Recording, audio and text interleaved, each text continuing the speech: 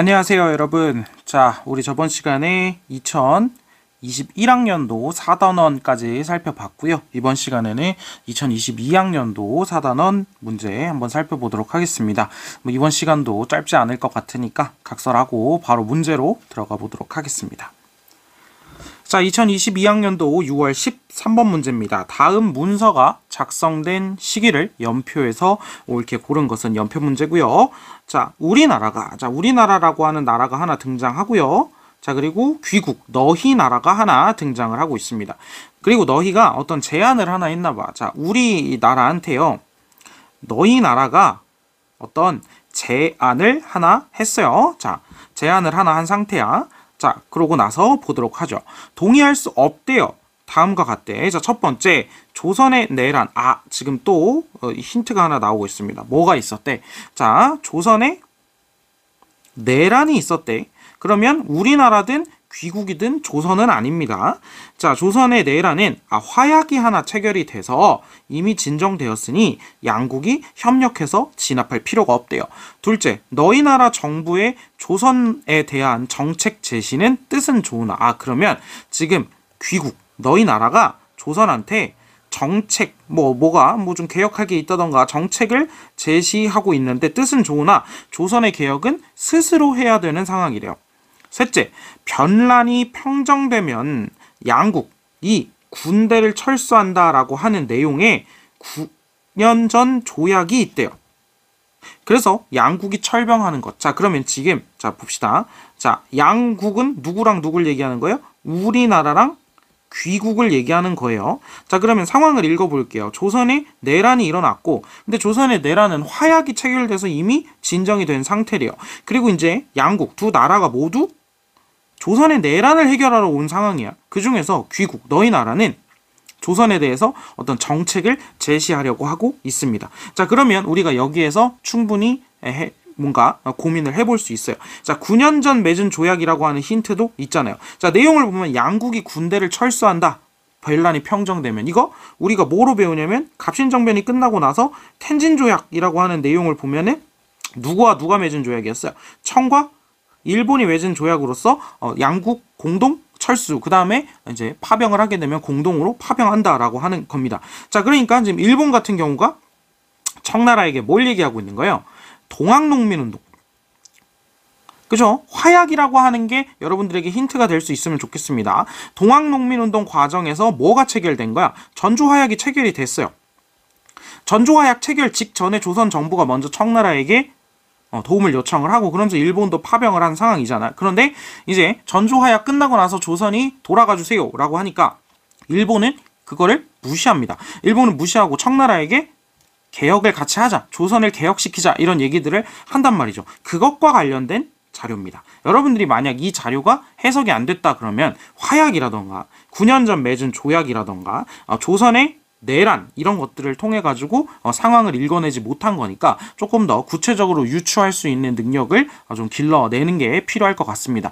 이거는 여러분들이 동학농민운동 전주화약 그다음에 청일전쟁으로 이어지는 이 부분의 내용을 모르진 않았을 거예요. 그런데 이걸 읽어내지 못했다는 건 약간 이 비문학적인 부분이 어, 비문학 그 독서 부분 있잖아요. 독서 부분이 살짝 부족했지 않았을까? 아, 한번 조금 더 꼼꼼하게 읽어봐 보면 좋을 것 같고요. 그래서 이 이후의 상황을 보면 결국에 일본이 경복궁을 점령합니다.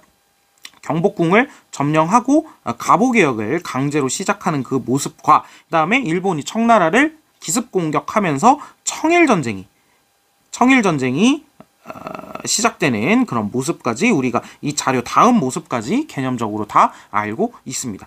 자, 그럼 이 부분을 연표해서 넣는다라고 하면은 자 한번 보도록 할까요? 자, 갑신정변 발발하고 나서 뭘 맺는 거야? 9년 전 맺은 조약을 체결하는 거고요. 이 자료 다음에 청일 전쟁이 발생한다고 했어요. 그 청일 전쟁이 발생해서 일본이 이기죠. 그래서 시모노 세키 조약이 차기, 어, 체결이 됩니다. 그런데 시모노세키 조약에 어떤 내용이 있었지? 랴오뚱 반도를 할양한다는 내용이 있었잖아. 청이 일본에게. 그래서 이거를 이제 러시아가 어, 막고자 뭘 했었다? 삼국 간섭이라고 하는 사건이 있었다는 거 우리 이전 시간에서도 우리가 살펴봤었던 문제에서 살펴봤었던 삼국 간섭은 아예 자료로도 출제가 됐었죠. 그래서 이렇게까지 연결되면 삼국 간섭과 갑신정변 발발 사이에 이 자료를 집어넣을 수 있겠다라고 하는 걸 여러분들이 집어넣어 보면 되겠습니다. 사실 조선의 내란이 화약이 체결이 됐고 어쩌고 저쩌고 하는 내용을 보면 여러분들이 이게 1894년 동학농민 운동이 일어난 상황이다라고 하는 걸 살펴보고 연도를 통해서 풀 수도 있지만 이 문제 같은 경우에는 그걸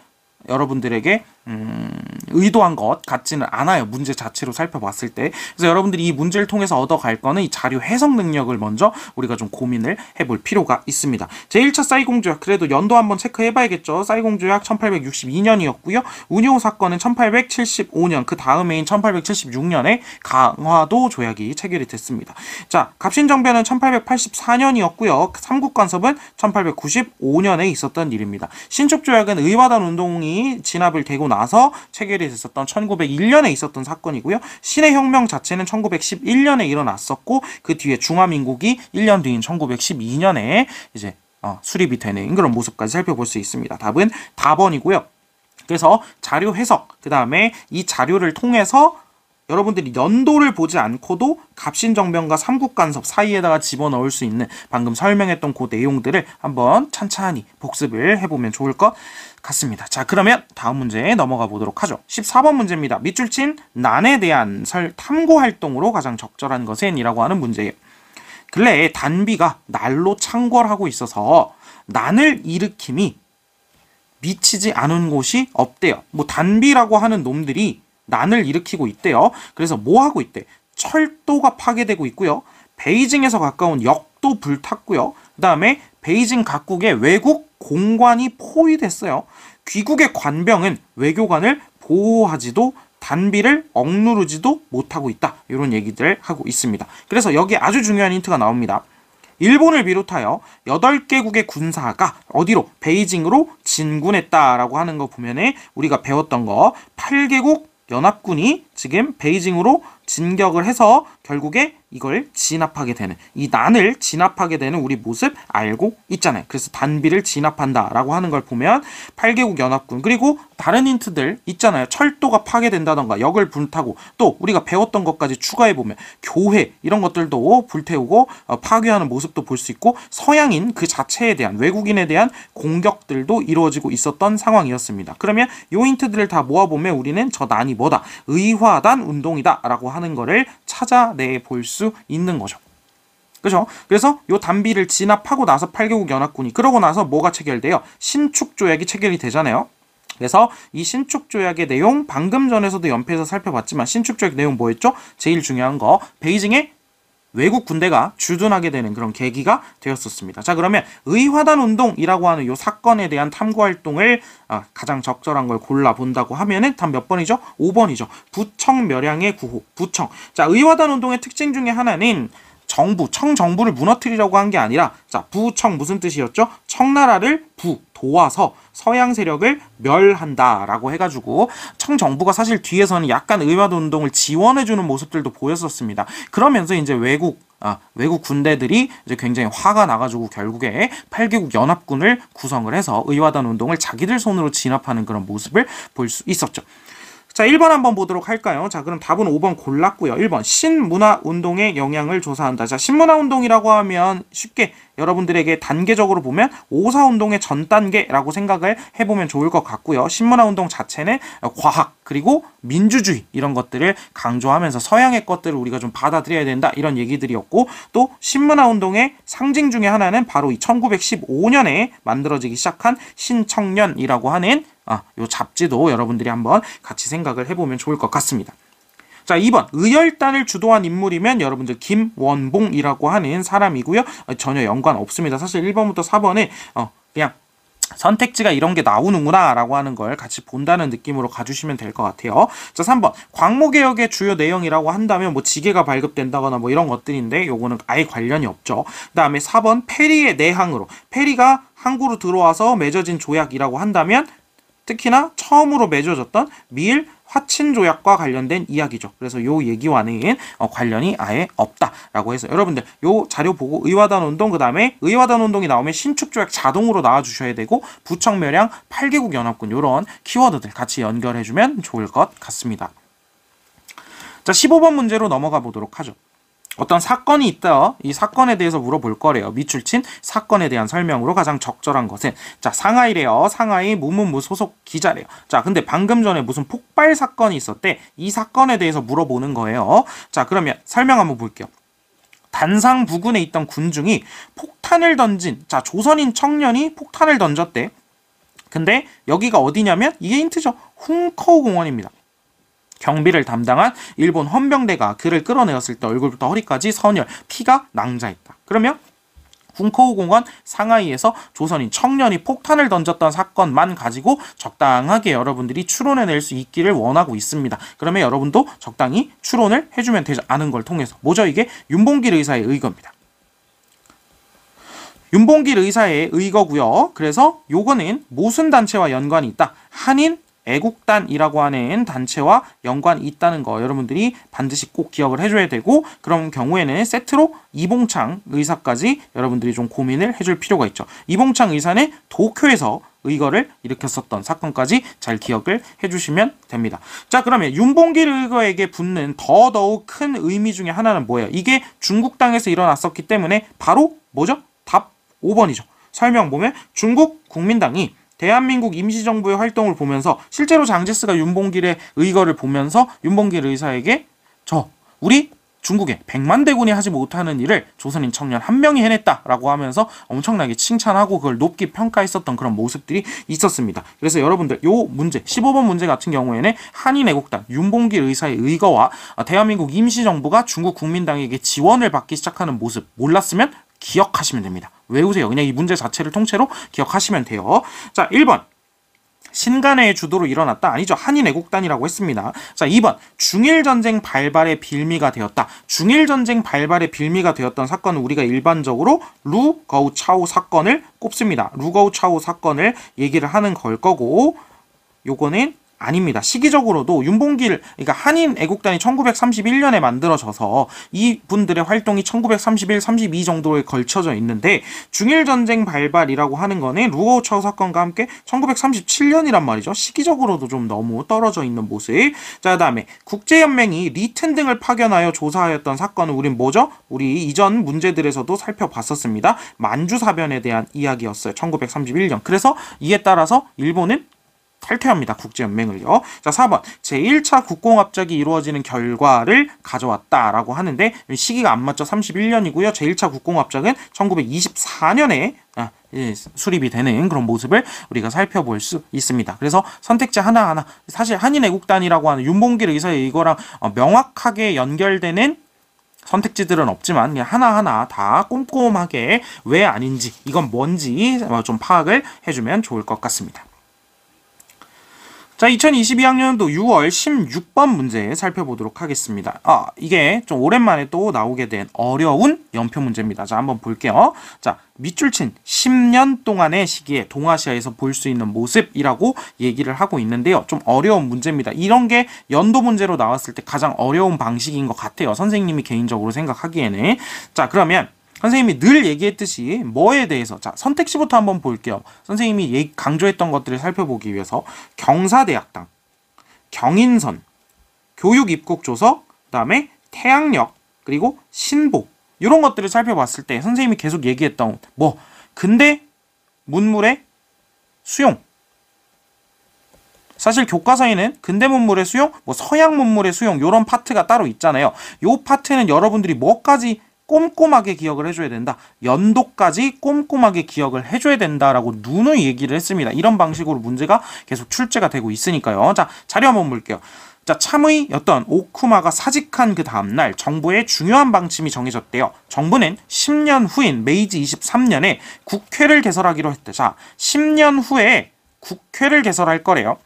종래에 교육법을 제정하는 듯 여러 개혁을 시행하겠다고 약속하였습니다. 그런데 이후에 헌법이 공포되고 이듬해 국회가 실제 개설되기까지의 그 10년 동안에 정부는 오히려 보안 조례를 제정하여 치안 방해 등의 명목으로 정치인에 대한 탄압을 자행했대요. 자, 그러면 헌법이 공포되고 이듬해 국회가 실제로 개설되기까지의 그 10년 동안 여러분들 이거 국어 능력도 좀 필요해 잘 읽어봐 봐야 돼. 자 봐봐 지금 시점이에요.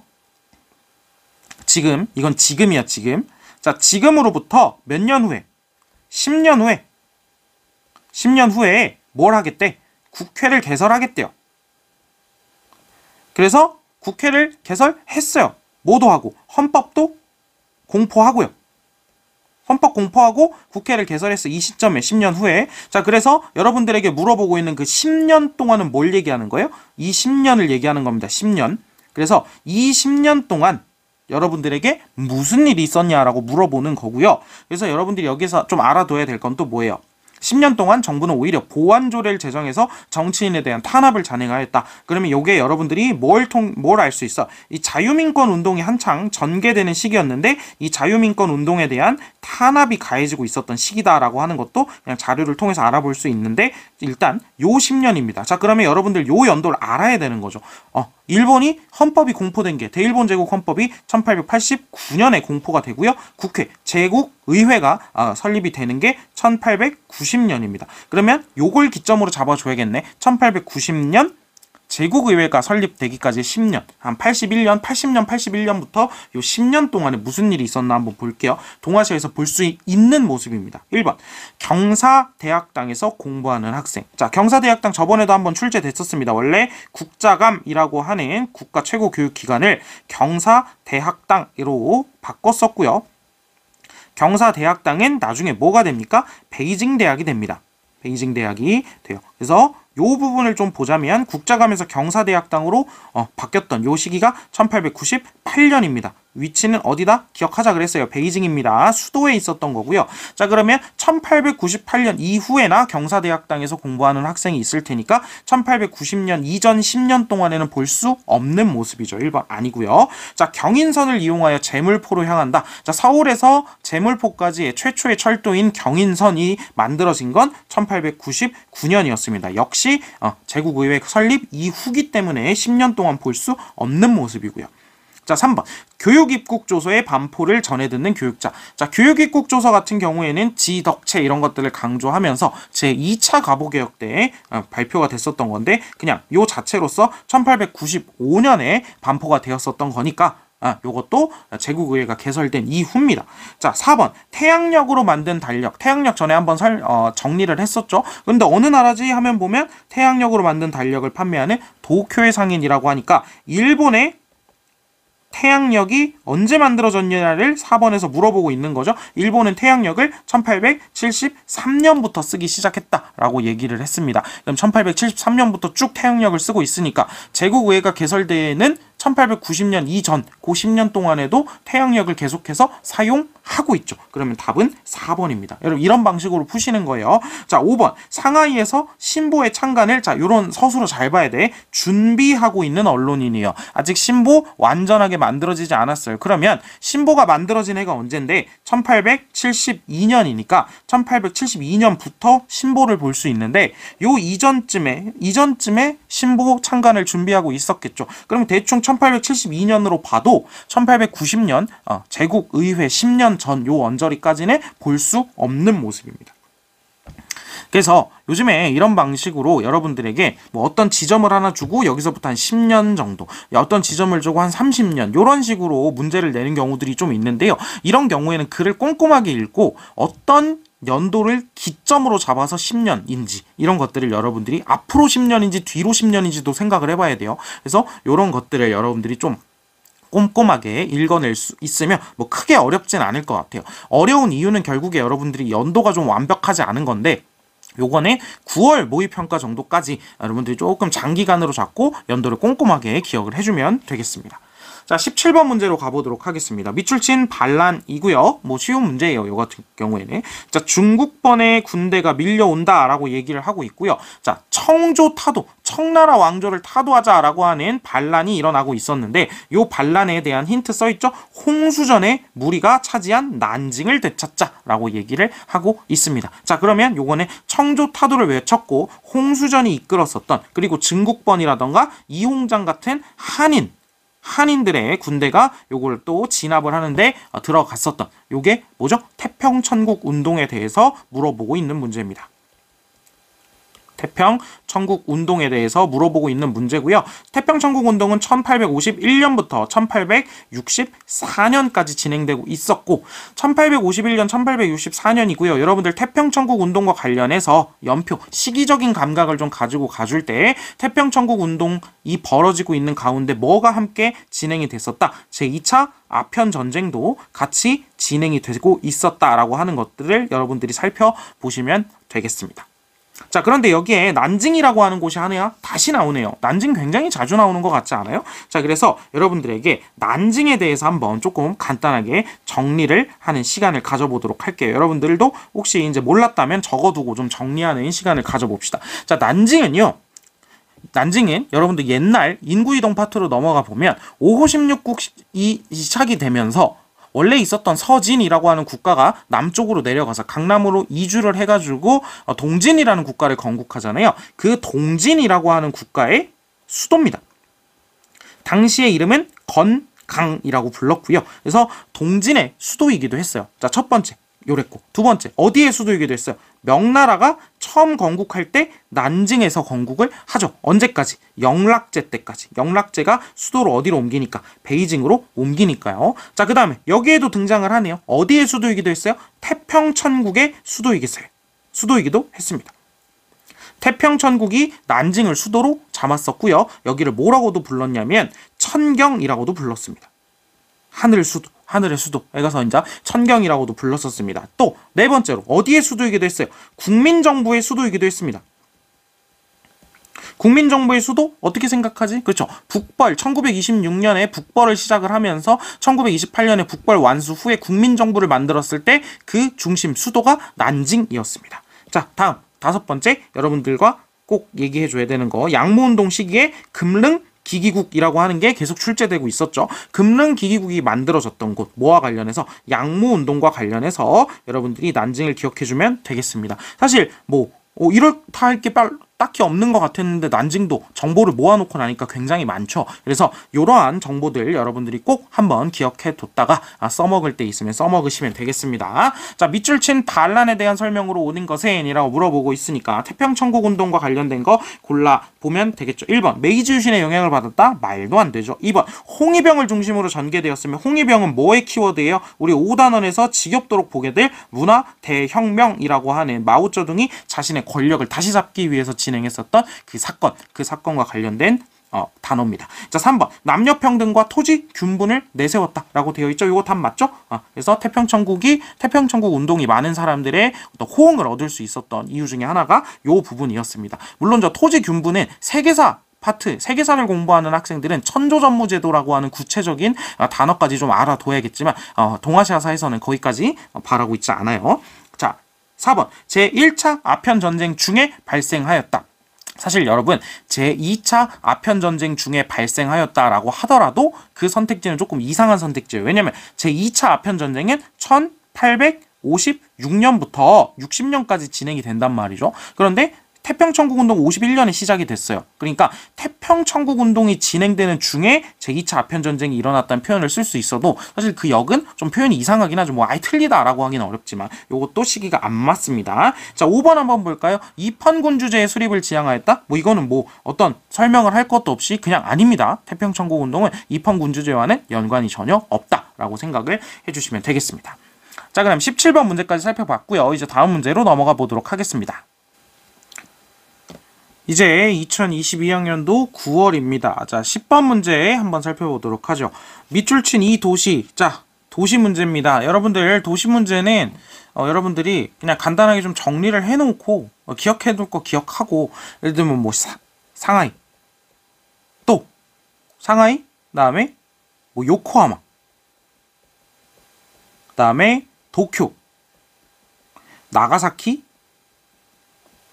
정도가 많이 출제가 되고 있고 그 중에서도 이 두 개가 압도적입니다. 사실 여기에 해당하는 정보들을 조금 정리를 해놓고 나머지 추가적인 부분들에 대해서 나왔을 때 뭐 옛날에는 어, 난징도 한번 출제가 된 적도 있었는데 아, 사실 요, 요 정도를 여러분들이 정리를 해놓고 나머지 선택지들을 모르는 것들이 있으면 좀 외워가는 방식으로 하면 도시 문제는 틀리기가 어려워요. 자, 볼게요. 자, 이 도시는 미일소 통상조에게 명시된 가나가와 대신 개항한 곳이다. 이거 전에 이 기출 분석 강의에서도 선생님이 설명한 적이 있지만 이거 모든 교과서에 뭐 어떤 탐구 활동이나 더 알아보기 이런 방식으로라도 다 써 있습니다. 자, 미국은 가나가와를 열기로 했는데 이 도시를 대신 열어서 위반이라고 항의를 했고, 일본은 이곳이 가나가와의 일부일 뿐만 아니라 수심이 깊어서 항만으로서는 더욱 적합하다라고 주장을 하면서 개항을 하겠다, 여기를 할 거다, 가나가와 대신이라고 했습니다. 이후에 일본 최대 무역항으로 급성장한 이곳에, 자, 요거 보세요. 일본 최초의 일간지 발행지다라고 여기 첫 번째 힌트고, 두 번째 힌트가 나 왔습니다. 사실 이와쿠라 사절단이 출발한 항구라고 하는 거네, 사실 요게 이제 힌트로 쓰기는 좀 어렵지만 요거는 여러분들이 그 있잖아요. 어, 이런 것들 있지. 난징 조약에 따라서 어, 개항한 항구들 중에 가장 북쪽에 있었다. 뭐 이런 방식의 출제가 상하이가 그런 방식으로 출제가 된 적 있잖아. 그런 것처럼 아 요거 아 이와쿠라 사절단 왜냐면 이와쿠라 사절단이 우리 메이지 유신 때 개혁의 어, 중요한 주제 중에 하나잖아요. 뭐 불평등 조약 개정이라던가 심지어 이와쿠라 사절단이 1871년부터 73년까지 있게 된다라고 하는 것도 우리가 한번 고민을 해볼 필요가 있는 연도인 건데 그래서 요 부분에 대해서도 그냥 한번 힌트로서 나중에 뭐쓸 때가 있지 않을까? 쓸 때가 생길 수도 있지 않을까? 라는 고민을 하면서 한번 기억해 보면 좋을 것 같아요. 자, 어쨌든 여기는 어디죠? 요코하마입니다. 요코하마. 요코하마입니다. 그래서 어, 가나가 대신 개항했다라고 하는 거 몰랐으면 기억을 좀 해두시고요. 일본 최초의 일간지 이름이 뭐였죠? 플레임을 한번 써볼까? 요코하마? 마이니치 신문입니다. 마이니치 신문이 여기서 어, 발행이 어, 되었었던 곳이기도 하죠. 언제였죠? 1871년입니다. 이것도 여러분들에게 서양 문물의 수용과 관련된 문제에서 출제가 될 수 있는 연도니까 요거까지 여러분들이 같이 좀 기억을 해두시면 좋을 것 같고요. 아, 그 다음에 답 5번이니까 5번 요 선택지까지 여러분들이 요코하마에서 가져가 줘야 되죠. 일본에서 처음으로 만들어진 철도는 어디예요? 도쿄와 어디를 연결하는 요코하마를 연결하는 요 철도가 처음으로 만들어진 철도였습니다. 요거는 1872년에 개통이 되는 그런 모습을 볼 수 있으니까 요코하마와 관련해서 가나가 대신이었다. 그다음에 요코하마 마이니치 신문, 그다음에 도쿄 요코하마 최초의 일본 최초의 철도가 개통된 곳 이런 식으로 좀 이렇게 연결해서 원래 기억을 해뒀으면 어렵지 않게 풀 수 있는 문제였습니다. 자, 그럼 한번 볼게요. 1번 공행이 설치된 곳이다라고 했을 때 모르면 안 돼요. 공행이 설치된 곳은 어디였죠? 공행은 광저우에 설치된 거야. 광저우. 그래서 공행무역 체제 1757년부터 1842년 난징조약 체결까지 진행됐었던 이 체제를 광둥 무역 체제라고도 한다고 했어요. 광저우가 있는 지역을 광둥이라고도 부르니까. 자, 다음 경사대학당. 아, 이런 방식으로 나오니까 선생님이 계속 얘기했던 거죠. 어디였다? 베이징이었다라고 하는 거 잊지 말아 주시고요. 그다음에 아조아치네가 결성된 곳이다. 아조아치는 1907년에 어디서 도쿄에서 결성됐었다라고 몇 번 얘기했습니다. 4번 인공섬 대지마가 조성된 곳이다라고 하면 여러분들 요거 나가사키와 관련된 선택지죠. 대지마가 조성돼서 어느 나라 네덜란드와의 무역을 진행을 했었다. 자, 그래서 여러분들 나가사키는요. 힌트로 줄 수 있는 게 두 개고 힌트로 줄 수 있는 게 두 개라는 건 답으로 나올 수 있는 것도 두 개라는 거예요. 즉 하나를 주고 그러니까 두 개밖에 없으니까 하나를 힌트로 주고 나머지 하나를 선택지로 하는 그런 문제가 나올 수 있어요. 나가사키는 여기에 있는 인공섬 대지마가 조성된 곳이다. 하나 더 뭐 있을까요? 그렇죠. 미일수호 통상 조약에 따라서 개항된 항구 추가 개항된 항구 4개 중에 하나입니다. 하나는 효고 그 다음에 전에 한번 선택지로 나왔던 니가타 그 다음에 나가사키 그 다음에 가나가와입니다. 그런데 요 가나가와가 지금 출제가 된 거죠. 가나가와 대신에 요코하마가 개항되었던 모습을 지금 출제하고 있다라고 하는 거. 그래서 다시 한번 얘기한 이제 마지막으로 얘기할게요. 이제부터는 뒤에 문제가 나오더라도 그냥 넘어갈게. 자, 다시 한번 얘기하지만 개항과 관련된 조약이면 개항된 항구들을 디테일하게 기억을 해두는 게 지금 트렌드에선 조금 뭔가 신상에 이롭다라고 하는 거 다시 한번 꼭 고민을 해봤으면 좋겠습니다. 선택지 자체는 어렵지 않았어요. 자, 13번 문제로 넘어가 보도록 하겠습니다. 자, 가 과정에서 있었던 사실. 자, 가 과정에서 있었던 사실이래요. 그럼 요것도 어디서부터 어디까지 약간 이렇게 구역을 정해놓고 요 안에 들어가게 되는 어떤 정보, 어떤 사실이 들어가느냐, 요런 방식의 문제인데 요 앞부분, 뒷부분 기점을 좀 잡아주시면 되겠죠. 자, 대화 한번 볼게요. 지금 군벌들은 자 군벌이라고 하는 힌트가 나왔네요. 온갖 악행을 저지르고 자 제국주의 열강은 우리나라에 대한 침략을 확대하고 있대요. 우리가 지금 광저우에서 군대를 일으키는 것은 나라를 구하고 인민을 위해서이다. 혁명군 장병들이여 나라에 충성하고 삼민주의를 실행하며 자신을 희생하여 중심으로 충심으로 혁명 정신을 다하라. 여기 힌트 있죠? 뭐예요? 삼민주의. 이런 거 놓치면 안 됩니다. 삼민주의를 실행하여 자신을 희생했다. 자, 그리고 여기에 힌트가 명확하게 나와 있죠. 자, 그래서 요거의 힌트는 뭐예요? 군벌, 삼민주의, 국민, 혁명군이라고 하는 요 힌트들을 가지고 지금 뭐가 시작되고 있다는 거예요. 자, 다시 한번 군벌을 타도하는 게 뭐였어요? 목적이었고요. 그다음에 삼민주의라고 하는 건 이들이 몸담고 있는 조직의 강령 같은 거고요. 이 순원이 이야기를 한 거잖아요. 순원이 얘기했던. 자, 그다음에 국민 혁명군. 이 혁명군은 왜 만든 거야? 국민혁명군은 군벌을 타도하기 위해서 만들어진 상태입니다. 그래서 요 국민혁명이라는 용어로도 쓰지만 우린 이걸 일반적으로 많이 뭐라고 불러요? 북 벌이라고 부르게 되고요. 자 그러면 북벌은 1926년에 시작이 됩니다. 그 전해였던 1925년 530 운동 이후로 이제 드라이브가 빡 걸리게 되죠. 그래서 26년부터 1928년 북벌이 완수될 때까지. 자 그러면 여러분들에게 물어보고 있는 건 요 1926년부터 28년 다른 말로 북벌이 진행되는 기간 동안에 어떠한 사실이 있었느냐라고 하는 걸 물어보고 있습니다.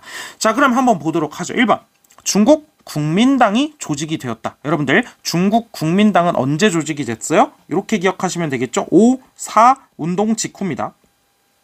5, 4 운동 1919년 직후예요. 그래서 직후에 5사 운동이 끝나고 나서 중국 국민당도 만들어지고 중국 공산당도 만들어지는데 국민당은 1919년이고요. 공산당은 1921년에 어, 만들어지게 됩니다. 자, 2번 루거우 차오 사건이 발생하였다라고 하면 이건 시기가 너무 뒤죠. 자, 여러분들 요 지금 북벌이라고 하는 사건과 관련된 건 뭡니까? 제, 제 1차 국공합작이 언제 이루어졌었죠? 1900 1924년에 1924년에 이루어지고 나서 이제 북벌이 진행이 되잖아요. 오히려 루오차우 사건은 중일 전쟁이죠. 중일 전쟁 땐 제 2차 국공합작입니다. 시기가 안 맞죠. 자, 다음 3번. 제 1차 국공합작이 결렬되었다. 여러분들 이 선택지 잘 봐두실 필요가 있어요. 제1차 국공합작이 결렬되었다. 지금 뭘 물어보는 거예요? 전에 선생님이 제1차 국공합작과 관련된 여러 가지 전개 과정을 간단하게 설명하는 과정에서 뭐 얘기했었냐면 1927년 4월 12일 4.12 상하이 쿠데타라고 하는 사건을 얘기를 했었습니다. 이 상하이 쿠데타는 다른 방식으로 뭘 얘기했어요? 자, 국민당이 공산당을 탄압하기 시작했다. 다른 말로 제1차 국공합작이 결렬됐다라고 하는 것과 같은 표현이라고 했고 요거는 북벌이 완수되기 전에 있었던 사건이라고 얘기를 했습니다. 그래서 요게 아 중요한 의미를 가지고 있구나 중요하게 출제를 하고 있구나라고 하는 걸 다시 한번 볼 수 있었던 문제예요. 자 4번 한중 민족 항일 대동맹 다시 한번 출제가 됐죠. 여러분들 요거 언제 때로 보라 그랬어요? 만주 사변 그쯤으로 보시면 된다고 했습니다. 한국과 중국이 손을 잡고 한중 연합 작전을 펼치게 되는 고 언저리쯤의 어떤 상징적인 단체라고 보시면 되겠고요. 자, 5번. 위안스카이가 임시 대총통에 취임한 거는 1911년 신해혁명 때 처음으로 순원이 임시 대총통에 취임을 하면서 1912년 중화민국의 수립을 얘기하고 그 다음에 청나라를 멸망시키면 멸망시켜주면 위안스카이 너에게 임시 대총통을 물려주겠다라고 했던 요 시기잖아요. 그러니까 시기가 아예 안 맞죠. 시기가 아예 안 맞습니다. 이미 북벌이 진행될 때는 순원은 죽은 상태예요. 그렇죠? 순원이 죽고 장제스에게 넘어간 거지. 그러니까 요 인물은 사실 아마 장제스가 아닐까, 장제스를 그려놓은 게 아닐까라고 충분히 예, 생각을 해볼 수 있는 거죠. 자, 그래서 여러분들이 지금 제1차 국공합작이 시작되고, 그 다음에 순원이 죽고 장제스에게 아, 권력이 넘어간 상태에서 북벌이 시작이 되는데, 북벌이 완수되는 그 순간 이전에 이미 제1차 국공합작은 결렬이 돼 있었다라고 하네. 4.12 상하이 쿠데타 한번 고민을 해볼 필요가 있습니다. 자, 그 다음에 도시 얘기를 계속 했었으니까 저 지문 중에 눈에 보이는 게 있죠. 중요한 도시로 저 도시 중요한 도시잖아요. 어디 광저우. 여긴 공행이 있기도 했었고요. 그런데 아까 이와쿠라 사절단이 출발한 곳이다라고 하는 느낌 있죠. 이와쿠라 사절단이 출발한 곳이 어디래요?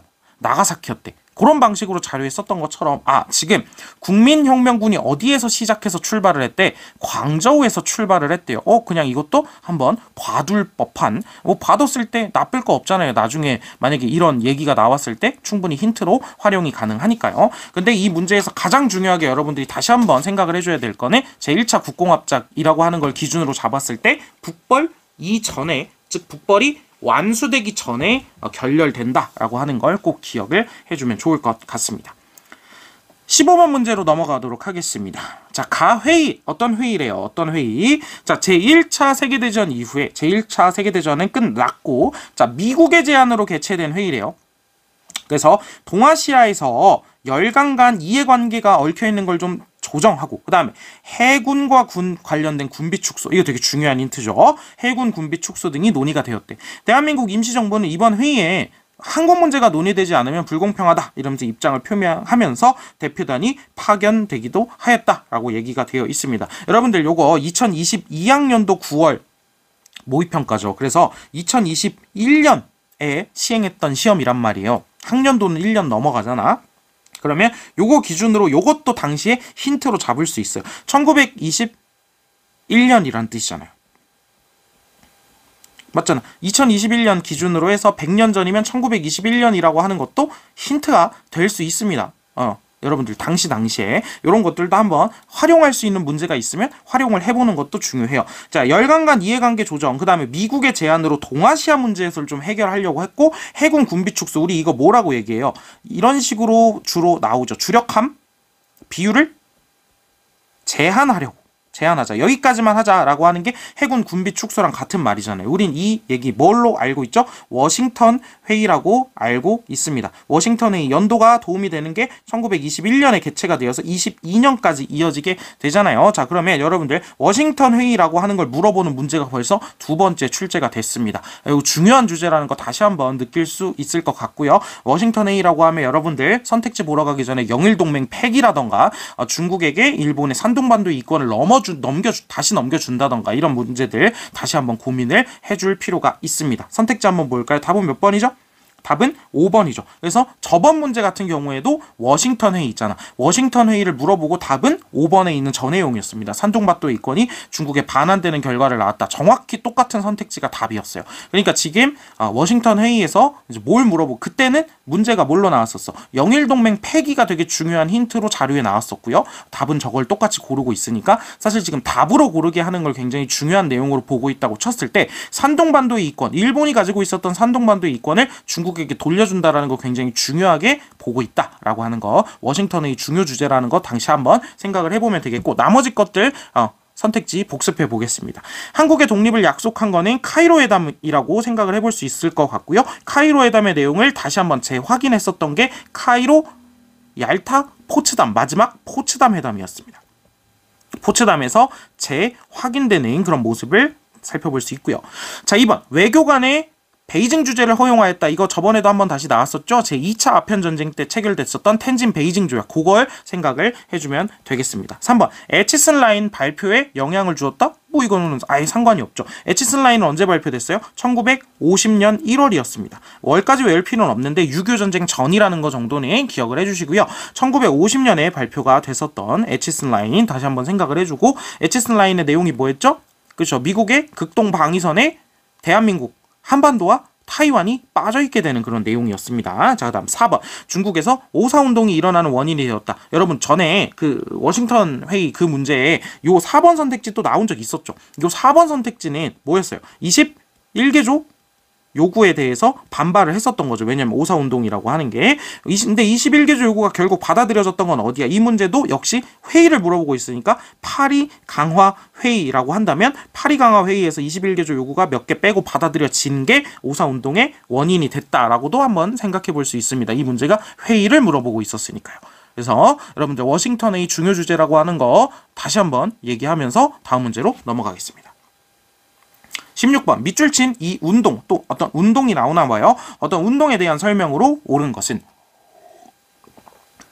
일본과의 전쟁에서 패한 지 일본과의 전쟁에서 패하고 지금 3년이 지났대요. 그 다음에 반포된 여러분들 광서제 광서제 여러분들 이거 전에 선생님이 광서제를 만력제처럼 한번 기억해 보자고 했어요. 광서제 때 우리가 주요하게 배우는 사건 뭐 있다 그랬어? 하나 변법 자강 운동이 있다고 했고요. 그 다음에 광서제라는 이름이 등장할 법한 게 또 뭐 있어요? 광서 아니면 광서를 빼고 그냥 신정이라고도 하는 요거는 신축조약 이후의 이야기라고 했습니다. 서태후동 보수파가 이제 더 이상 개혁을 미룰 수 없다라는 느낌으로 시작했었던 거. 자, 광서제의 명정 국시조라고 하는 걸로 이 운동이 본격화되었대요. 이 운동의 주도 세력은 자 그럼 광서제가 나왔으니까 지금 나라는 어디야? 청이야? 그럼 청이 일본과의 전쟁했던 거 뭐 있어요? 청일 전쟁이죠. 청일 전쟁. 그럼 청일 전쟁에서 패했다라고 하는 거 명확하게 언제예요? 시모노세키 조약일 테니까 1895년에 패배가 확정이 된 거란 말이에요. 그럼 1895년에서 3년 더하면 1898년이니까 지금 뭐 얘기하는 거야? 변법 자강 운동이 1898년이잖아요. 이런 방식으로도 짚어낼 수 있지만 사실 뒤에 읽어보면은 변법 자강 운동이라고 하는 걸 찾을 수 있는 힌트가 훨씬 더 많습니다. 사실 지금 연도 계산 안 했고 광서제라는 거 몰랐어도 뒤쪽에 변법 자강 운동 찾을 수 있어요. 자, 이 운동의 주도 세력은 일본이 강한 이유가 군사력에 있는 게 아니라 서구의 정치 체제를 적극 수용한 것에 있다고 보았습니다. 왜? 청나라는 그 이전까지 뭐 하고 있었어요? 청일 전쟁에서 패배하기 전까지 뭐 하고 있었어? 양모 운동하고 있었잖아요. 그래서 중체 소용이라고 하는 거에 이거 슬로건으로 잡아가지고 어, 양모 운동을 진행하고 있었던 청나라의 상황에 한계를 느낀 거라고도 생각할 수 있죠. 그래서 그들은 일본의 입헌군주제를 본보기로 삼아서 국회 개설하자, 헌법 제정하자, 그래서 제도국 설치하자 이것도 키워드가 될 수 있겠죠. 그래서 입헌군주제 국회 개설과 헌법 제정 등을 주장을 하면서 제도국을 설치하자라고 했던 거. 그래서 여기엔 뭐가 안 나와 있어요. 지금 양치차오나 량치차오 먼저 얘기하면 캉유웨이가 서운해할 것 같은데 자 캉유웨이 량치차오 같은 요런 핵심 인물들은 아직 아 요 자료에는 등장하지 않고 있는 상황입니다. 어찌됐든 요러한 키워드들을 가지고 여러분들이 변법 자강 운동 요렇게 선생님 지금 두 번 슬로 이렇게 그어놓은 지금 지금 긋고 있는 요 파트 있잖아요. 요 앞쪽을 힌트로 쓸 수 있으면 좋지만 힌트로 쓰지 못해도 요 뒤에서 입헌군주제 그다음에 일본의 강함이 서구의 정치 체제를 받아들였기 때문이다. 국회 개설, 헌법 제정, 제도국 그 다음에 여러분들 요거는 연도 계산을 안 했어도 힌트로 쓸 수 있었어야 돼요. 청일 전쟁에서 패배하면서 충격을 받은 게 변법 자강 운동의 배경이라고 하는 건 우리가 변법 자강 운동 공부할 때 배우거든요. 어, 그러니까 여러분들이 요거는 좀 고민을 해볼 필요가 있습니다. 자, 그래서 선생님이 나중에 조금 뒤에서 한번 싹 정리를 해줄 겁니다. 뭘 정리를 할 거냐면, 아, 이 전체적인 개혁과 아, 그러니까 청나라의 개혁과 그 개혁 앞에 어떤 배경들이 있었는지를 좀 이렇게 정리를 할 건데요. 그거 아, 한번 다시 정리를 해보면 좋을 것 같아요. 여러분들이 그거 보고 나서. 자, 그러면 변법 자강 운동에 대한 설명으로 옳은 것이니까 일단 답부터 골라보고 나면 답은 몇 번이죠? 5번이죠? 지금 변법 자강 운동 출제되고 나면 어, 자료에 자료가 좀 어려워서 그렇죠. 언제든 유, 출제가 되고 나면 답은 항상 저거인 거 여러분들 느껴요? 서태후 등 보수파의 반발로 실패하였다. 저거 무술 정변이라고 부르는 사건이죠. 답은 항상 계속해서 이걸로 어, 내고 있습니다. 약간 임진왜란 중에 사실로 옳은 것은이라고 하면은 일본이 뭐 무역 재개를 요구하였다. 아니면 뭐 일본이 조선 남부 사도 활양을 요구하였다. 이게 약간 거의 고정으로 답으로 나오는 것처럼 약간 아, 무술 변법 이라고 하는 거니까 무술 정변을 계속 선택지로 내고 있는 모습을 볼 수 있어요. 자, 1번. 갑신정변의 배경이 되었다? 갑신정변의 배경이 되었다? 갑신정변을 일으켰던 급진개혁파들은 오히려 일본의 메이지 유신을 본보기로 삼았으니까 배경이라고 삼기는 어려워도 좀 본보기로 삼았던 건 오히려 메이지 유신을 잡아볼 수 있겠네요. 자, 다음에 시기도 안 맞죠?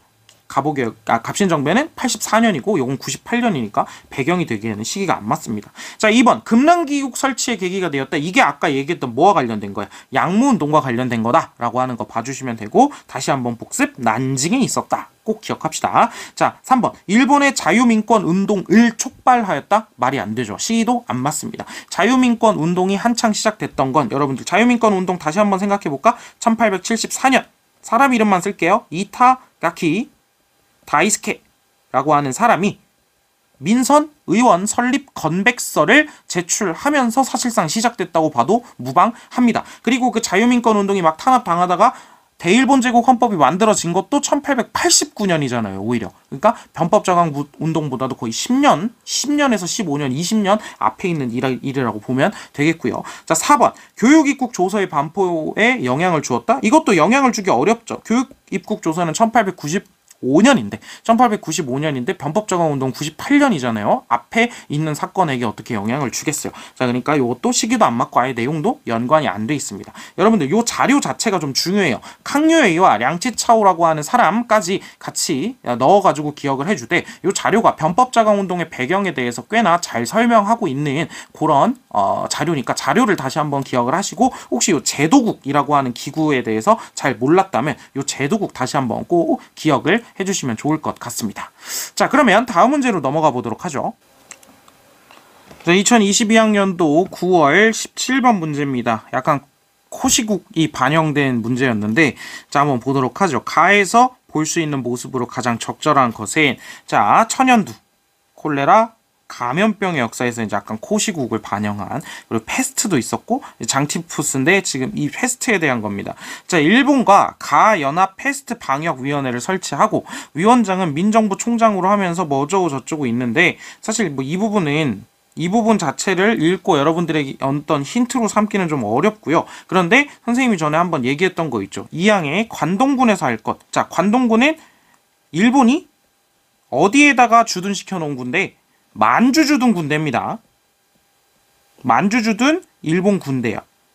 그래서 이런 것들을 봤을 때 아 일본과 만주가 연관이 돼 있겠구나라고 하는 것도 한번 생각해 볼 수 있는 거죠. 이런 힌트를 얻을 때 좋다는 거예요. 근데 사실 밑에 설명이 다 나와 있긴 있어요. 이 자료는 신징 인근에서 페스트가 유행하자 만주를 침략한 이후 청의 마지막 황제인 푸이를 앞세워 가를 수립한 일본이 마련한 방역 지침이래요. 지금 일본이 만주를 침략한 1931년 만주 사변 이후에 사실 우리 저번에 자료의 힌트에도 나왔었습니다. 청의 마지막 황제인 푸이를 이 나라의 황제로 하면서 1932년 건국을 했었다고요. 뭐였죠? 만주국이었어요. 요거 만주국. 그럼 가는 지금 만주국에 대한 이야기입니다. 그러면 일본과 만주국이 같이 페스트 방역위원회를 설치해서 어떻게 하려고 했었다 이런 자료가 있다는 거네요. 자 그런데 밑에 여러 기관이 참여하면서 방역 활동에 혼선이 빚어졌고 페스트 사망자가 많이 발생했다. 자 그런데 다 떠나서 그냥 1932년에 만들어진 만주국 그리고 이 만주국이 계속 이제 지속이 되어 갈 텐데 요 만주국에서 볼 수 있는 모습 만주국에서 볼 수 있는 모습이에요. 여러분들 문제 잘 읽어야 돼. 만주국이 있는 기간 동안 동아시아에서 볼 수 있는 모습이 아니라요. 만주국에서 볼 수 있는 모습이니까 지역적으로도 만주여야 되는 거야. 무슨 말인지 이해하겠죠? 자 그러면 17번 선택지 한번 보도록 하겠습니다. 자 1번 풍도회전에 참여, 참전하는 일본군. 자, 계속해서 문제를 이런 방식으로 내고 있습니다. 보세요. 풍도회전을 보면 선생님이 뭐, 를 떠올려줘야 된다. 요게 청일 전쟁에서 진행이 되었던 전투라는 거 기억을 해주면 1894년부터 95년까지라고 하는 시기를 본다면 만주사변보다 너무 앞쪽이죠. 그러니까 요거는 만주국에서 볼 수 없습니다. 이런 사건은. 자, 2번. 홍수전의 지휘를 받는 태평청국군. 일단 태평청국군이면 이 태평청국군은 만주까지 가지도 않았어요. 시기도 1851년부터 64년까지니까 아, 요것도 아닙니다. 자, 3번. 조선의용대 창설식에 참여하는 대원. 조선의용대 창설식에 참여하는 대원이라고 되어 있는데 여러분들이 이제 요거가 선생님이 왜 만주라는 지역을 강조했냐면 이 3번 선택지 때문입니다. 조선 의용대 언제 만들어졌어요? 1938년에 만들어졌습니다. 그리고 우한 한커우라고 하는 곳에서 만들어졌어요. 그러면 어? 잠깐만. 만주국은 1932년부터 있잖아. 그러면 어? 만주국에서 볼 수 있는 모습 아니야? 아니라는 거죠. 이게 장소가 만주가 아니잖아. 이건 중국 관 내에서 만들어졌어요. 중국 내부 영토 내부에서만 그러니까 만주도 중국 영토기는 했었지만 만주국 만들어지기 전에는 어쨌든 중국 내부 아 관내라고 표현을 하죠. 그 거기에서 만들어진 거니까 요거는 장소가 안 맞아요. 아, 조금 꼼꼼하게 봤어야 되는 문제죠. 자 4번 우창봉기를 일으킨다. 신군이 우창봉기를 일으킨다라고 하면 여러분들 이걸 뭘로 읽어야 돼요? 신의 혁명으로 읽어야 됩니다. 신의 혁명. 그러면 신의 혁명은 1911년이기도 하고 우창봉기니까 우창이라는 곳이었을 거 아니야. 여기 만주 아니거든요. 여기도 중국 내부예요. 자, 그러니까 이것도 아닙니다. 자, 5번. 중국국과 연합하여 항일전을 펼치는 조선 혁명군. 이 조선 혁명군 그리고 하나 더 같이 기억해 달라 그랬죠? 한국 독립군 같은 경우에는 여러분들이 만주 사변 이후에 뭐 만주 사변 이후에 만주 쪽에서 활동을 했었던 누구들 한중 연합작전을 진행했던 부대로 연, 연, 연합 작전을 벌였던 부대로 기억을 해달라고 해, 했는데, 자, 여러분들이, 아, 사실 3번을 고른 학생들도 적지 않게 있을 거고요. 답을 5번으로 골라주셔야 되는데, 그럼 여러분들이 요 조선혁명국가 한군 독립군이라고 하는 이 부대를 만주사변이라고 하는 시기적인 부분으로도 같이 기억을, 만주사변 이후라고 하는 것도 같이 기억을 해줘야겠지만, 장소도 만주 지역에서 활동을 했었다라고 하는 것. 물론 한국사 지식이 있다면 한국사에서도 중요하게 배우는 부대이기 때문에 만주에서 활동했었다는 거 알겠지만은 다시 한번 몰랐다면 만주에서 활동했었다는 거 다시 한번 기억을 해주면 좋을 것 같습니다. 그래서 이 문제는 이 문제가 여러분들에게 좀 가져가 줘야 될 정보가 있는 문제였다기보다는 선택지 접근 방법입니다. 이 문제를 봤을 때 만주국이라고 했을 때 만주국에서 볼 수 있는 모습이기 때문에 시기도 1932년 이후여야 되지만 장소, 공간도 만주여야 했다는 거 그런 방식으로 좀 꼼꼼하게 두 가지 조건을 통해서 선택지를 지워 나갔어야 된다는 거 다시 한번 생각을 해주면 되겠습니다. 자 그러면 이제 수능 문제로 가보도록 하겠습니다. 7번 문제입니다. 밑줄 친 전쟁에 대한 밑줄 친 전쟁에 대한 설명으로 옳은 것은 이라고 하는 문제고요. 자, 어떤 전쟁이 나올 거나 봐요. 봐봐요. 슬프도다. 우리 타이완 사람은 우리 타이완 사람은 자, 지금 주어가 타이완 사람이에요. 타이완 사람은 이제 더 이상 대청국 청나라의 신민, 백성 일수가 없다. 아, 그럼 지금 타이완이 청나라에서 떨어져 나갔나 봐. 우리 대청국의 황제는 어찌하여 타이완 사람을 버리는가? 도적 같은 신하가 있기 때문이다. 대학사, 이용장, 형부상서, 손용문, 이부시랑 서용이 이런 놈들 때문이다. 저들은 우리 타이완 사람과 무슨 원수가 졌는가? 저들은 전쟁에서 져서 아 그래 나왔네요. 일본인들에게 수억량이나 되는 돈을 배상금으로 준 것도 모자라서 애꿎은 타이완 사람을 내 던졌어요. 자, 그러면 지금 전쟁에서 패배하고 수억량의 배상금을 일본에게 주기도 했고 또 타이완이 떨어져 나가고 있잖아요. 그러면 청나라와 일본이 한 전쟁이라는 거 우리 알 수 있죠. 왜냐면 상대국이 일본으로 나왔잖아요. 그럼 청일 전쟁에 따라서 맺어진 게 시모노세키 조약이죠. 그러면 이 시모노세키 조약의 내용을 본다면 타이완 할양이 있고요. 그 다음에 랴오뚱 반도 할양이 있죠. 물론 랴오뚱 반도는 일본이 가져가지 못합니다. 뭐 때문에 삼국 간섭 때문에. 근데 타이완이 들어가 있잖아요. 그러면 여러분들이 전체적으로 딱 그림을 그려서 이 전쟁이 무슨 전쟁이다? 청일 전쟁이다라고 유추할 수 있으면 됩니다. 어려운 추론은 아니에요. 이 자료 같은 경우에는. 자, 그러면 이 전쟁에 대한 설명으로 옳은 것은 1번. 운요 사건을 구실로 일어난 건 전쟁이 아니라 강화도 조약입니다. 그래서 여러분들 다시 한번 기억을 해 주시고요. 자, 2번. 베이징 조약이 체결되는 그래서 베이징 조약 베이징에서 많은 조약들이 체결이 됐는데 우리가 이 교육 과정에서 베이징 조약이라고 부르는 조약이 체결된 건 제 2차 아편 전쟁입니다. 아편 전쟁. 그래서 요 2차 아편 전쟁과 관련된 거구나. 라고 보시면 되겠고. 자, 3번. 에도막부가 무너진다. 뭐 하는 거면 에도막부가 무너진 거면 뭐 어, 떻게 볼 수도 있냐면 메이지 유신으로 볼 수도 있고 그냥 막부 타도 운동으로도 볼 수 있겠죠. 자, 4번. 변법 자강 운동이 일어나는데 영향을 끼쳤다. 요게 답이에요. 여러분들 봐봐요. 자, 일단 5번부터 볼게요. 상하이 등 다섯 개 항구를 개항하는 배경이 되었다. 이런 방식으로도 그냥 나올 수 있죠. 상하이 등, 상하이, 닝보, 푸저우, 샤먼, 마지막 광저우까지 상하이 등 다섯 개 항구를 개항하는 배경이 되었다. 이건 난징 조약이고요. 자, 이 문제는 뭐에 대해서? 전쟁에 대해서 물어보고 있으니까 제 1차 아편 전쟁이라고 얘기하는 게 조금 더 정확하겠네요. 자, 그러면 답은 4번인데 봐봐요.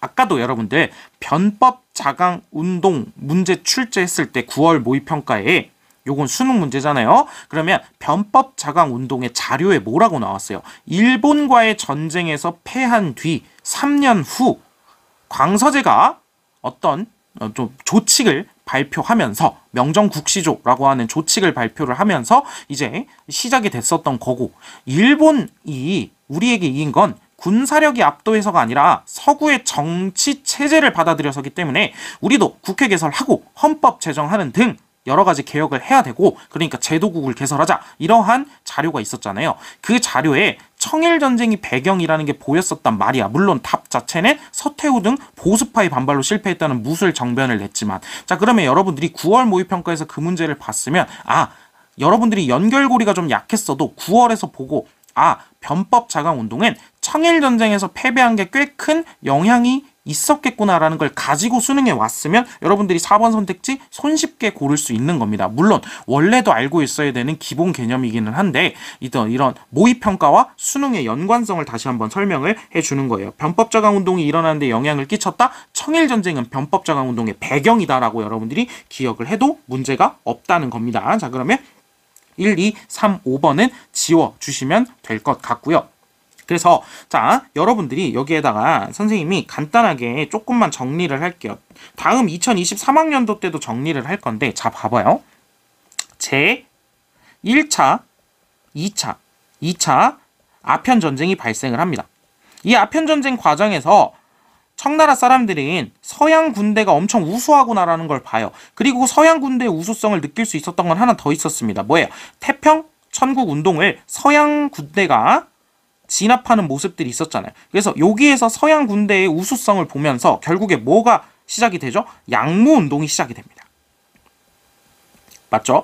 양무 운동이 시작이 된단 말이야. 근데 양무 운동은 슬로건이 뭐였어요? 중체 소용, 즉 서양의 군사 기술이라던가 이런 필요한 것만 받아들이겠다 했잖아. 근데 양무 운동이 뭘로 사실상 실패, 사형 선고를 받습니까? 뭐죠? 청일 전쟁에서 이제 청이 양무운동을 30년간 진행했는데도 청일전쟁에서 패배하잖아요. 그러고 나서 양무운동의 방향성을 뒤집어 엎은 게 뭐인 거예요? 변법 자강 운동인 거예요. 오케이? 변법 자강 운동이 진행이 된단 말이죠. 그런데 변법 자강 운동은 뭘로 인해서 실패를 합니까? 무술 정변이라고 하는 보수파의 반발로 보수파 반발로 실패로 끝나게 되죠. 그러고 나서 보수파가 한동안 집권을 한단 말이야. 그런데 이러는 과정에서 결국에 의화단 운동이 발생을 합니다. 의화단 운동이 발생을 하게 되고 의화단 운동이 8개국 연합군에게 진압되고 나서 신축 조약이 체결되면서 신축 조약이 체결이 되면서 아주 큰 위기감에 빠져들게 돼요. 왜 신축 조약 중요 내용 뭐라 그랬어? 베이징 즉 수도에 외국 군대가 주둔하, 주둔하기 시작을 하잖아요. 자 그러니까 뭐가 시작이 돼요? 이제 보수파들도 야 개혁을 더 이상 미룰 수가 없겠는데? 라는 생각을 하면서 신정 광서 신정이라고 하는 게 시작된다. 자 그러니까 여러분들이 양무운동 변법장항운동 신정이라고 하는 걸 집어넣고요. 여기에 가운데 앞부분에 어떠한 배경들이 들어가는지를 이렇게 구도를 좀 잡아 놓으면 흐름 잡기가 훨씬 편합니다. 그래서 요거 한번 정리하려고 했습니다. 뒷부분에 필요한 부분이 있으면 다시 한번 간단하게 정리를 하도록 할게요. 자, 이렇게 한번 보시고요. 자, 다음 문제 넘어가겠습니다. 10번 문제입니다. 다음 자료를 활용한 탐구 활동으로 가장 적절한 것은 이라고 되어 있습니다. 뭐 문제 자체는 사실 탐구 활동 이런 문제면 문제 자체는 어렵지 않은 문제죠. 신들은 애국의 마음을 어루지 못해 억누르지 못해 나라를 구할 방도를 생각해 봤더니 오로지 천하의 공의를 떨치는 길밖에 없고요. 천하의 공의 어떤 공공의 의논 할 일 것들 이런 것들을 떨치기 위해서는 민선 의원을 설립해야만 합니다. 우린 이 자료가 뭔지 대충 유추해 볼 수 있어요. 민선 의원 설립 건백서구나. 이런 거 한번 유추해 볼 수 있죠. 이타가키 다이스케가 제출을 한 그러면 1874년 그러면 요거는 뭐와 관련됐다? 자유민권 운동이라고 하는 것과 관련된 자료였다. 그러면 밑에 있는 자료도 이 두 자료를 묶어서 여러분들이 문제를 푸는 거니까 자유민권 운동이랑 연관 있지 않을까? 라고 하는 거 한번 생각해 보고 뭐 아니면 다른 어떤 뭐 의원을 만들자거나 아니면 뭐 국회를 개설하자거나 그런 다른 나라의 문제일 수도 있죠. 볼게요. 우리 당의 목적은 오로지 인민의 권리를 보전하고 주장하여 자유 인민의 권리를 보장 주장해서 자주 자유 독립을 누리도록 하는 게 있고요. 이게 천황과 인민의 사이를 혼연일치시켜서 오히려 국가를 유지하고 국가를 더 강력하게 만드는 길이다. 그러니까 이게 자유민권을 준다고 해서 문제가 생기는 게 아니다라고 설득하고 있는 글인 거죠. 그러면 지금 이거 전체적으로 봤을 때, 아, 지금 자유민권 운동과 관련된 자료들이구나라고 알고 나서 탐구활동으로 가주면 됩니다. 답은 몇 번이죠? 그쵸. 이거를 골라내기가 쉽지가 않아요. 자유민권 운동 어떻게 돼요? 이거는 메이지 정부가 탄압을 합니다. 근데 메이지 정부가 이 자체에 대해서의 문제 의식은 가지게 되죠. 어, 이거 필요한데? 필요하긴 해. 라고 하면서 결국에 정부 자체에서 제국 헌법을 만들게 되잖아요. 헌법을 만들게 되고 그 다음에 제국 의회가 설립이 되는 모습이 보이잖아. 이게 1889년이었고 이게 1890년이었죠. 그러면 자유민권 운동은 여러분들이 개념을 가지고 가줄 때 개념을 가지고 가줄 때 어디까지 연결 지어줘야 돼요? 헌법 제정 의회 개설까지 같이 가져가 줘야 답을 3번을 손쉽게 고를 수 있는 겁니다. 무슨 말인지 알겠죠?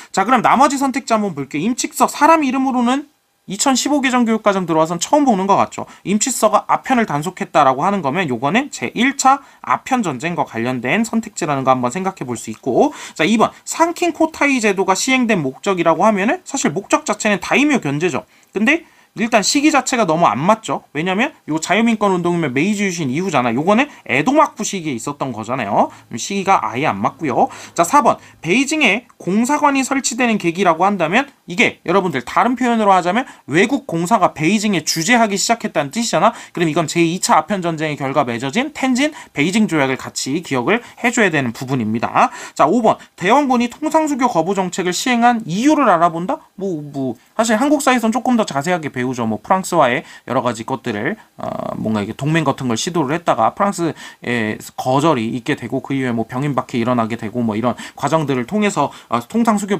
거부 정책이 점점 커지게 되는데 뭐 이거는 아예 관련이 없는 거니까 그냥 지워 주셔도 문제가 없을 것 같습니다. 자, 그러면 이제 2022학년도 수능 세 문제 남았습니다. 다음 문제 가 볼게요. 자, 14번 문제입니다. 밑줄 친 2번 요구의 내용으로 옳은 것은 지금 세계가 유럽의 전쟁의 정신을 빼앗긴 상태래요. 일본은 일본과 중국 사이에 생긴 문제인가 봐. 일본은 중국에 대한 관리를 확대하려고 기도하고 있다. 시도하고 있대요. 산둥에 있는 독일 이권의 어 힌트죠. 산둥에 있는 독일 이권의 양도를 비롯한 이번 요구가 인정된다면 즉 여러분들 이번 요구는 이번 요구는요. 일본이 일본이 중국에게 요구한 거예요. 근데 이 요구의 내용에 뭐가 들어있대? 산둥에 있는 독일 이권의 양도가 들어가 있대. 그러면 여러분들은 이건 쉽게 고를 수 있습니다. 뭐 21개조 요구구나. 21개조 요구가 나온 건 1915년이었습니다. 21개조 요구구나. 그러면 이 유럽의 전쟁이 1차 세계대전이구나. 또 알아볼 수 있습니다. 자, 만약에 그렇게 된다면 중국의 주권이 극도로 침해돼서 중국은 실질적으로 일본의 관리 아래에 들어가게 될 것이다. 뭐 이런 식으로 되어 있는데 자 그런데 이 문제는 21개조 요구에 대해서 뭘 물어보고 있냐면 21개조 요구에 산둥에 있는 독일 이권의 양도 빼고 무슨 내용이 또 있냐라고 물어보고 있어요. 오 이거 조금 다른 방식으로 어려운 문제였습니다. 자 봐봐요. 1번 만주국을 승인하라. 만주국은 만주사변 1931년 만주사변 이후에 1932년에 만들어지죠. 21개조 요구할 때는 만주사변도 일어나지 않은 상황입니다. 들어가 있을 내용이 아니죠. 자, 2번. 랴오똥 반도를 할양하라. 랴오똥 반도를 할양하라고 하는 건 시모노세키 조약대잖아. 시모노세키 조약대잖아. 이 내용이 들어가 있을 만한 게. 그럼 1895년인데 요 내용도 특히 딱히 어 맞지 않습니다. 자, 3번. 베이징에 군대 주둔을 허용하라. 사실 저것과 관련된 건 뭐 있어요? 이거 신축조약과 관련된 얘기죠. 신축조약. 그러니까 시기적으로도 1901년이니까 안 맞기도 하고요. 21개조 요구에 들어가 있을 만한 내용이 아니죠. 자, 4번. 루거우 차우 사건의 진상을 규명하라. 루거우 차우 사건과 관련해서 시비를 걸면서 전쟁이 일어났던 건 중일 전쟁입니다.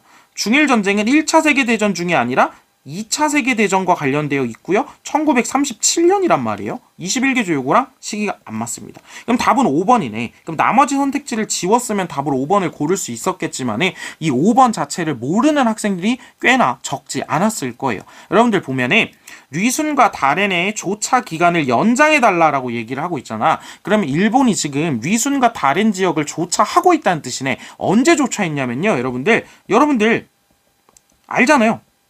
포츠머스 조약에 보면 러시아가 가지고 있었던 뤼순 다롄의 조차권을 일본이 가지고 간단 말이에요. 그럼 그때부터 일본은 계속해서 뤼순 다롄을 조차하고 있어요. 근데 기한이 끝났나 봐. 그러니까 더 연장해 달라고 요구하는 내용이 21개조 요구에 들어가 있고요. 여러분들 엔간한 교과서에는 다 자기 교과서에 가보면 21개조 요구가 21개가 다 써있진 않지만 몇 개 핵심 내용이 뽑혀져서 자료 같은 걸로 제시가 되어 있어요. 그래서 여러분들 요 21개조 요구 이 문제를 제대로 풀어내지 못했다면 자기 교과서에 교과서에 자료 21개조 요구가 있는 거 가가지고요. 아니면 본문에 써 있을 수도 있어요. 21개조 요구의 내용을 꼭 가서 찾아보세요. 이게 지금 답이 리순 다렌의 조차 기간을 연장하라가 답인 거 답이라는 뜻은 무슨 뜻이냐면 사종 교과서에 다 21개 요구 관련해서 리순 다렌 조차 기간 연장이 교과서에 써 있다는 뜻입니다. 어떤 방식으로든 자료든 본문이든 그러니까 자기 교과서 가가지고 다시 한번 21개조 요구 좀 꼼꼼하게 공부를 해주시면 될 것 같아요. 약간 다른 방식으로 어렵게 나온 문제였어가지고 조금 실제 수, 시험장에서 조금 당황했을 수도 있을 것 같은 문제입니다. 자 다음으로 넘어가 볼게요. 자 15번 문제입니다. 가나 조약에 대한 설명으로 사이시기 문제 아니죠? 설명이니까 그냥 뭐 쉽게 쳐낼 수 있는 문제일 것 같아요. 자 볼게요. 자 가번 다낭 바랏, 꽝일. 자, 다낭을 비롯한 세계 항구 개항. 이거 뭐예요? 제 1차 사이공 조약이죠. 그래서 여러분들이 요건 기출 기출을 잘 공부했으면 1861년에 체결이 됐었던 제1차 사이공 조약인데 그 어디냐면 2021년 2치 21년이 아니라 학년도 학년도 6월 6월 모의평가 11번 문제의 자료로 기출이 됐었습니다. 제1차 사이공 조약은요. 그러니까 그때 공부 잘 해놨으면 1년 뒤에 있었던 요 수능 요것도 여러분들이 아, 쉽게 찾을 수 있었던 거죠. 그래서 제1차 사이공 조약이면 여러분들 꼭 세트로 뭐까지 기억해 달라고 했어? 아, 영토 하량에 대한 이야기가 들어가 있겠구나. 그쵸? 영토도 떼어줄 거예요. 계약 말고도. 또 하나, 선교, 선교의 자유 문제도 들어가 있었다는 거 우리 선택지에서 한번 본 적이 있습니다. 기억해 달라 그랬어요. 자, 나 한번 볼게요. 시모다는 즉시 개양, 하코다테는 내년 3월부터 개양. 자, 개양하는 데가 두 개밖에 없네. 그럼 이건 뭐예요? 미일 화친 조약입니다. 자, 미일 수호 통상 조약은 시모다 하코다테 말고도 효고, 니가타, 가나가와 가나가와는 나중에 요코하마로 대신 개항을 할 거고 마지막 나가사키까지 추가 개항을 하게 되죠. 이거는 1854년에 체결이 됐었던 겁니다. 자 그러면 자 가 한번 볼게요. 가는 제1차 사이공 조약입니다. 일부 영토의 하량을 규정하였다. 자, 문제도 이런 식으로 출제하고 있잖아요. 그러니까 뭐 코친 차이나 지역이라고 부르는 동부 삼성을 하량했다. 이렇게 구체적으로 알 필요가 없어요. 지금 수능에서는 요 정도로 얘기를 하고 있습니다. 실제 교과서에도 그렇게까지 안 써 있기 때문에 영토 하량 문제가 있었구나 정도만 아시면 돼요. 맞죠? 들어가 있으니까. 니은 크리스트교 박해를 구실로 일어난 전쟁의 결과 체결이 됐습니다. 아 그러면 여러분들이 이거 다 교과서에 써 있거든요 실제로. 그런데 이거 넘어간단 말이에요. 그냥 조약만 외우고 넘어가면 이번 그 니은 선택지 같은 게 조금 까다롭게 다가오는 거죠. 자 실제로 실제로요. 어, 제1차 사이공 조약은 처음에 크리스트교가 어, 크리스트교를 박해했다. 베트남이 어, 프랑스인을 박해했다라고 하면서 프랑스가 쳐들어가서 전쟁을 하게 되고 그 결과 체결이 됩니다. 제1차 사이공 조약이요. 그러니까 니은 같은 것도 교과서만 한번 꼼꼼하게 읽어봤어도 크게 어렵지 않을 선택지예요. 자, 기억, 니은 모두 맞습니다. 자, 디귿. 자, 영사재판권 조항은 어디에 들어있어요? 미일 수호 통상조약에 들어가 있습니다. 자, 미일 화친조약에는 대표적으로 최혜국, 때우 조항이 들어가 있습니다. 자, 그리고 협의에 의한 관세 부과, 관세 협정과 관련된 조항은 어디에 들어있냐면 이 역시도 수호통상조약에 들어가 있어요. 수호통상조약에 들어가 있습니다. 그래서 여러분들이 지금 15번 문제는 어떻게 보면 조금 까다로울 수도 있는 거는 여러분들이 어떤 이 부분에 대해서 오히려 오히려 요즘 트렌드대로 막 공부하다가 어 어떤 조약을 몇 년에 체결됐고 이런 거에만 좀 집중을 하다가 그 조약을 조금 더 구체적으로 내용과 관련해서 조명하다 보니까 어 이거 뭐지? 이거 뭐지? 어, 이거 생각 안 해봤는데 이럴 수도 있었던 문제니까요. 자, 조약이나 여러분들 이 부분, 그러니까 사단원 파트는요, 기본은 개념이에요. 개념 그리고 내용 설명 그리고 전체적인 흐름 시기 잡는 거 굉장히 중요하고 마지막으로 여러분들이 연도까지 추가해서 공부하는 게 어, 여러분들의 기본적인 자세여야 된다라고 생각을 해주면 되겠죠. 자 그러면 이제 2022학년 수능 4단원 마지막 문제 살펴보겠습니다. 밑줄 친 개혁에 대한 설명으로 옳은 것은 자 각국과 통상한 이래에 화선 뭐 이제 화선 뭐 불로 움직이는 배 뭐 증기선 같은 거겠죠 화선이 날로 늘고 있는데 운행이 매우 빠르다 속도가 매우 빠르대요 그리하여 중국 안팎의 강과 바다를 막론하고 이익이 모두 서양인들에게 장악된 상태래요 걔네들이 막 저 좋은 배 쓰니까 신은 중국본 아 요거 힌트죠 중국본 등과 더불어 수년 이래에 여러 개혁을 하자고 계속해서 얘기를 해왔다. 윤선 초상국의 설치를 허가해 주십시오. 이로써 선박을 구매하고 제조하여 양인, 서양인이 독점하는 이익을 회수해야 됩니다. 자, 이 신은 누굴까를 한번 고민해 보면 나중엔 결국에 답이 나오기쯤 아마 이용장이지 않을까 싶어요. 자, 보면 중국에 여러 서양인들이 들어와가지고 이득을 얻고 있는데 우리도 개혁을 해가지고 중국번과 함께 계속해서 개혁하자고 얘기를 해왔고 그래서 설치, 윤선 초상국에 설치를 허가해 주래요. 이 윤선 초상국은 뭐 있는 교과서도 있고 없는 교과서도 있을 거예요. 전체적인 흐름을 통해서 증국번이란 이름과 함께 여러분들이 유출을 해주면 좋은데 윤선 초상국이 나왔으니까 이제부터 왜냐면 지금 이거 양모운동인 거는 대충 느낌이 오죠. 어려운 문제는 아니에요. 사실. 근데 이 양모 운동이라는 게 느낌이 왔으면 이제 여러분들은 이걸 실제 시험장에서 본 게 아니잖아. 기출로서 요 윤선 초상국도 한번. 왜냐면 우리가 지금까지 계속해서 양모 운동과 관련해서는 금능기기국 요런 것만 출제가 되고 있었는데 그냥 문제의 힌트로서 문제의 힌트로서 윤선 초상국도 한번 기억을 해볼 필요가 있지 않을까. 요건 상하이에 만들어졌던 거고요. 상하이의 근대적인 형태의 해운 기업 바다를 통해서 뭐 운송업을 하는 해운 기업으로 만들어졌던 게 윤선 초상국입니다. 자, 그러면 지금 이 개혁은 양모 운동인 거고요. 양모 운동에 대한 설명으로 옳은 것은이라고 해놓고 답은 3번 중체 소용이니까 선택지는 아주 쉽게 구성을 해놨어요. 근데 이제 여러분들이 자료를 유추해서 중국번, 그러니까 인물도 이용장이나 이런 대표적인 인물이 아니라 그것과 함께 가, 항상 써있긴 하지만 중국번이라고 하는 인물만 좋고 전체적인 흐름을 유추하게 만들어 놓은 문제여서 자료가 어렵지 않나? 그러니까 선택지는 쉽게 가자. 이렇게 했을 수도 있는 문제입니다. 자, 가보개혁의 영향을 받았을 리가 없죠. 자, 2번. 과거제의 폐지를 실현하였다? 과거제는요. 여러분들 이거 기억해 두세요. 이거 기억해 두세요. 우리나라 조선을 기준으로는 가보개혁 때 과거제가 폐지가 되고요. 청나라는 가보개혁을 언제 폐지하냐면 그 신축 조약이 체결되고 나서 지행했던 광서신정 있죠. 그 광서신정 때 과거제를 폐지합니다. 자, 다음 4번. 공화정의 수립을 목표로 하였다? 공화정의 수립을 목표로 하였다? 이거는 양분동이 아니죠. 오히려 청나라로 간다면 공화정 수립은 신의 혁명입니다. 그래서 중화민국 수립으로 이어지게 되는 거죠. 5번. 대한국 국제는 애초에 나라가 틀렸죠. 이건 대한제국이니까요. 자, 그래서 지금 2022학년도 수능까지 본다면 여러분들에게 연도도 굉장히 구체적으로 요구를 하고 있고요. 오히려 여러분들 지금 보면 2022학년도에는 트렌드적으로 봤을 때 2021학년도에 비해서 아주 악랄한 연도 문제가 많이 출제되지 않은 거 느껴지죠. 그렇죠? 그러면 매해에 약간 트렌드가 있다는 건데 2023학년도는 또 어떤 트렌드를 가지고 있었는지 다음 시간에 살펴볼 거고요. 그러면 여러분들이 각 해의 트렌드를 뭘로 통해 파, 파악하는 거야? 6월, 9월 모의 평가를 통해서 판단하고 수능에서 어떻게 나올지를 여러분들이 다시 한번 그러니까 그거를 여러분들이 뭐 스스로 평가원장이 돼서 추측해 볼 필요는 없지만 대비를 하는 거죠. 대비를 하는 거죠. 그러니까 여러분들 요 2022학년도는 또 요런 트렌드로 출제가 됐구나 한번 살펴보시면 되고요. 다음 시간에 4단원 마지막 2023학년도 한번 같이 풀어보도록 하겠습니다. 오늘 모두 수고 많았고요. 다음 시간에 만나도록 하죠.